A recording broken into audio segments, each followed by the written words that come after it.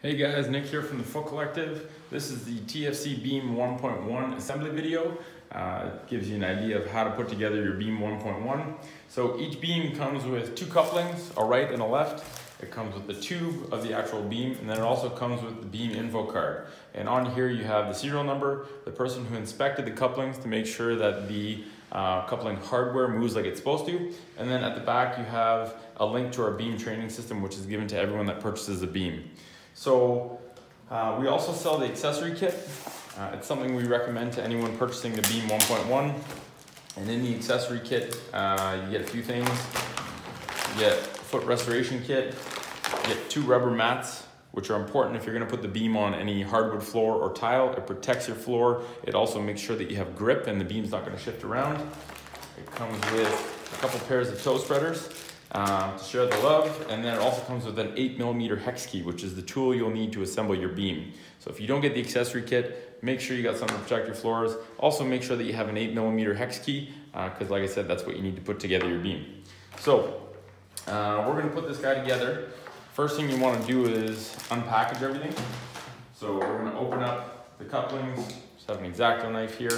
Uh, they're labeled right and left, and we'll show you why that is. So just kind of open that up.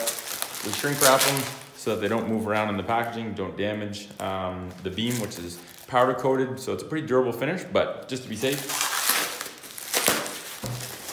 So this was the right.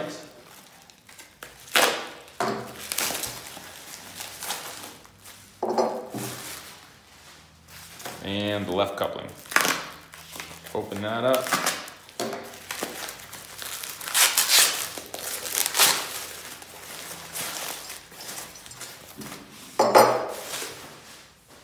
So when we test these things out to make sure that all these screws work like they're supposed to, uh, we arrange them so that the, we try and make it as easy as we can. The one that's elevated, the two that are flush stay there. The one that's elevated um, is the one that you're gonna use to put the pipe in. So these are there in case you decide to put legs in your beam if you wanna elevate it or uh, angle it in future. Um, after that, you can take the pipe. Now this one, we recommend just taking the tape off by hand because if you cut into it and you slice into the powder coatings, although it's pretty durable, um, it's nice to just be careful. It Comes off pretty easily. Or so I thought. There we go. So ditch all the packaging and that's your beam in parts. So the first thing you want to do is arrange the couplings like they're going to be, like they're going to be on the beam. Move everything else. Best to assemble this on a nice hard surface, um, but also one that you don't care about scratching up, just in case. So I'm gonna gently put the beam in each end.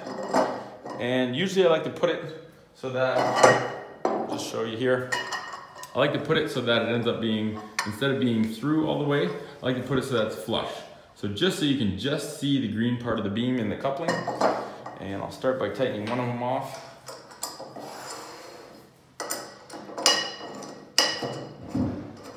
Tighten that down until it makes contact with the beam. Don't tighten it too much. Pop the other one on. Like I said, the two screws that are up are the two that you're gonna put the beam uh, into. Usually what you wanna do is, not that it really matters, but before you end up making contact with the beam, actually, rotate it so the sticker is facing up. So the foot of the sticker, rotate it so that it's facing up. Check in, make sure it's flush. Adjust it so that the screw just contacts the beam. And then same thing on the other side. Make sure the beam is flush in the coupling. Start tightening that down.